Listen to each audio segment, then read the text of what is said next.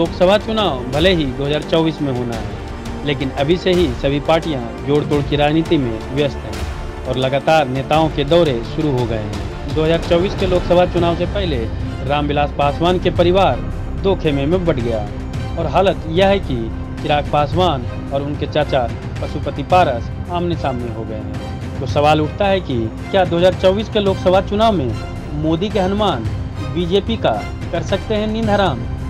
सवाल का ज़िक्र का वजह यह है कि खुद को मोदी का हनुमान कहने वाले चिराग पासवान के तेवर थोड़े बदले बदले नज़र आ रहे हैं। हालाँकि ऐसा कहा जा रहा है कि उनकी पार्टी लोजपा रामविलास का, भाजपा के साथ गठबंधन होगा, पर चिराग के रवैये से ऐसा लग रहा है कि वे हर परिस्थिति के लिए तैयार रहना चाह रहे हैं, ताकि गठबंधन होने की स्थिति में बीजेपी पर दबाव बना सके और नहीं होने पर भी वे मजबूती से चुनाव लड़ सके।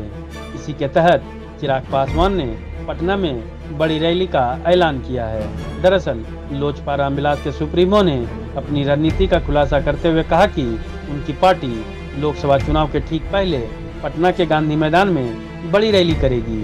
चिराग पासवान ने कहा कि हमारी प्राथमिकता लोकसभा चुनाव और उसके बाद होने वाले बिहार में विधानसभा चुनाव है। इसके लिए हम अपनी तैयारी कर रहे हैं। साथ ही चिराग पासवान ने गठबंधन को लेकर भी बड़ा खुलासा किया। चुनाव के समय ही हम लोग किसी भी गठबंधन में शामिल होने का फैसला करेंगे। चिराग पासवान ने कहा कि हमने इस मुद्दे पर अभी तक फैसला नहीं किया है। हम अभी पार्टी संगठन को मज़बूत कर रहे हैं।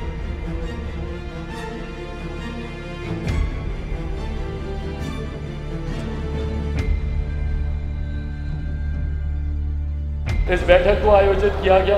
आने वाले दिनों में विभिन्न और प्रकोष्ठ की इसी तरीके की बैठक बिहार के अलग अलग जगहों पर आयोजित की जाएगी। उद्देश्य 2024 के लोकसभा। और संभवतः, मैं मान के चलता हूँ, संभवतः उसी के साथ या उसी के आसपास बिहार में विधानसभा के भी चुनाव होंगे।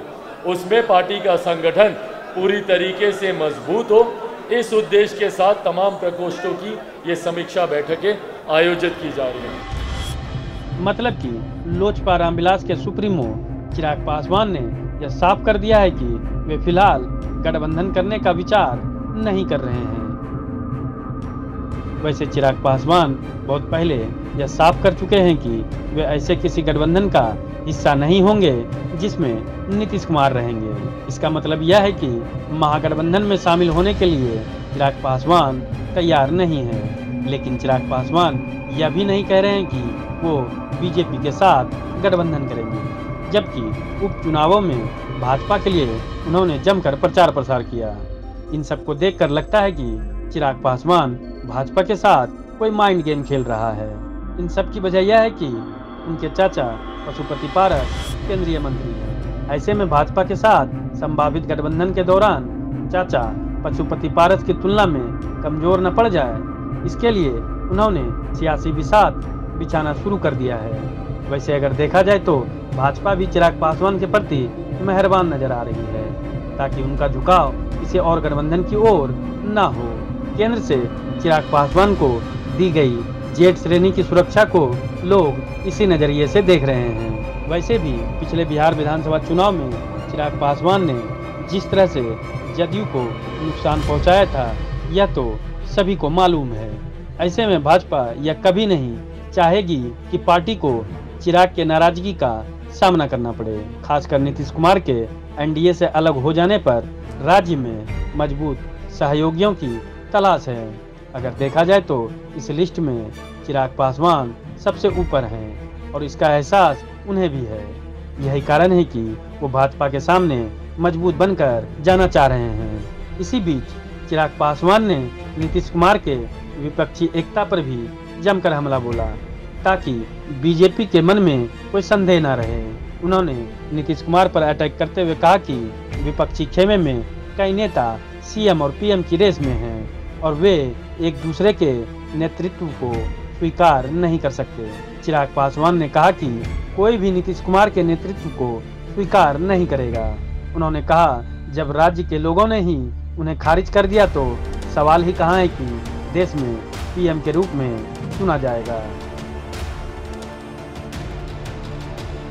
विपक्ष के लोग एक साथ आके तस्वीरें ज़रूर खिंचा सकते हैं। और वो तस्वीरें आज से नहीं भैया हम लोग 2014 से देखते आए लगातार बार बार ये लोग तस्वीरें खिंचवाते हैं एक दूसरे के साथ हाथ पकड़कर। पर उसके बाद जब चुनाव आते हैं तब तक ये भानुमति का कुनबा बनते बनते बिखर जाता है। इस तरह से चिराग पासवान ने बताना चाहा कि नरेंद्र मोदी के सामने किसी की कोई चुनौती नहीं है। लेकिन लगे हाथों जिस तरह से 28 नवंबर को बड़ी रैली का ऐलान किया है, इससे तो यह साफ़ है कि चिराग पासवान भाजपा के खिलाफ माइंड गेम खेलने की तैयारी में है। अब आगे देखना यह है कि चिराग पासवान का रुख कैसा रहता है। दोस्तों, आज के अंक में बस इतना ही। अगले अंक में कोई और जानकारी लेकर आपके सामने हाजिर होंगे। लेकिन ऐसी और कहानियों को सुनने और देखने के लिए समाचार फॉर पीपुल लिंक्स का हौसला बढ़ाएँ। हमारे चैनल को सब्सक्राइब करें।